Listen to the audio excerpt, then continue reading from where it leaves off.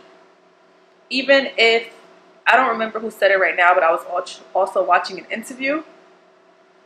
Even if you feel like motion is slow, feel like, you know, you're lagging, just stay consistent. Because again, when you don't see progress, it's very, very, very easy to get discouraged. But don't because things happen when it's supposed to happen and we all know that things work on God's timing, not ours. God doesn't allow something to happen for us or to us until we are well equipped and well prepared for it. So God's timing is always better than our timing. Just be consistent and be ready to play your position and be ready to play your role when God puts this in this position that you're asking for. So again, he'll give you the strength emotionally, physically, mentally. He'll make sure you're well prepared for what you are asking for before he gives it to you. So like that, when you get it, you're good to go. And consistency for me is important because even with YouTube, it's like I was posting here and there and then, you know, questioning certain things on my channel, but it's like I wasn't really putting in the work. So now I'm more focused and I'm more consistent because even if, you know, I'm not getting a lot of views or a lot of subscribers or anything like that, they're not going to have nothing to come back for if I'm not consistent with posting videos and consistent with giving them something to look forward to. So, again, to reiterate, be consistent. Also, I feel like I'm a perfectionist, so a lot of my, not even just with YouTube, just in life general, I feel like everything has to be perfect and I have to make sure everything is like A1. Yes, do good quality and do your best, but don't overthink it. Just be consistent because consistency will put you in places that, you know, you never thought you could be. So right now, my goal for June is to be consistent and I want to know your opinions. How do you feel about consistency? Are you normally consistent at everything you do? And what are some tips that you think people could do to be more consistent? For me, to be more consistent and to be more organized on what I say I'm going to do, I've been learning to write everything down.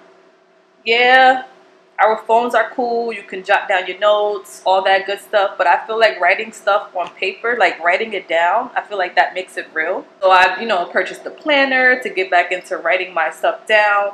You can even print out a calendar and write what you want to do. Again, whether it's with your social life, your work life, your personal business, your personal hobbies, whatever it is, just, you know, make a note. Make note of it and write it down so it's real. Give yourself deadlines if you need to. Get an accountability partner if you need to. Or be someone else's accountability partner if they need that accountability to, to stay consistent. It, two things come in hand when you think of consistency also. Yes, you have to be self-motivated and you have to know your why. But also, as with everything, it takes a village. So someone you feel comfortable with, whether it be your friend, your partner, a family member, whoever. Try to find someone to be your accountability partner and also make yourself available and be resourceful to that person as well so they can stay consistent. And before I end the discussion on consistency, I also would like to say consistency plays a major role in our life. I require everyone that comes into my life to be consistent. I don't whether I chose you to be in my life or whether God put you in my life, like parents, we don't get to choose our parents, we don't get to choose our siblings and stuff like that, but we do get to choose our jobs, our friends, our partners. I need consistency all across the board. Like when I start a job, don't treat me a certain way and then start treating me different. Don't like that. Same thing in my relationships and my friendships. If you came to me here, I need you to be a little consistent well, I need you to be consistent. Let me not say a little bit. Of course, we have our good days, we have our bad days, things happen. Yeah, but please be consistent. At least for me, I require consistency. Be consistent. If you're reaching out to me, if I'm reaching out to you, if we're planning dates or whatever we're doing, please be consistent. Don't come in and out of my life. Don't think you can show up when you want to show up. Same things go for parents. I'm sure if you are a parent and you're not with your child's parent, you want that person to be consistent as well because you don't want them in and out of your child's life, confusing your child or making your child question like what are they doing to not have that person present in their lives. So I think consistency is very, very important and unfortunately at a young age we don't really get a chance to communicate that. If we are raised by a single parent, you know, at a young age you don't really get to say like why is this person not being consistent. You just got to go with the flow. If they pick you up this week and they do, if they don't, they don't, because you're just a child, right? But I think we need to get more into setting that tone for our child as well. Don't make them feel like they have to deal with inconsistency because they don't. I'm going to wrap up today's discussion on consistency. Thank you guys for tuning in. I will see you on the next episode of Wine Down Wednesdays. Same time, same place. So set your alarm and tell a friend to tell a friend and I'll see you soon.